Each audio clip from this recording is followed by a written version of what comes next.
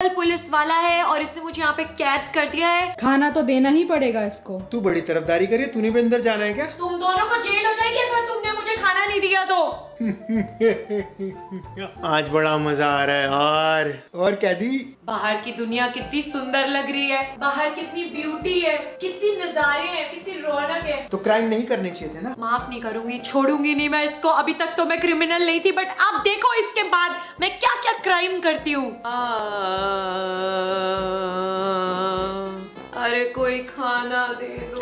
अरे तुम्हारा खाना खाने का समय हो गया। तुम्हारी एक फरमाइश पूरी करी जा रही है। कैदी नंबर 420 तुम्हारा खाना आ गया है। खाना खाना दे दो। खाना प्लीज़ खाना दे दो। पिज्जा लाए हो मेरे लिए?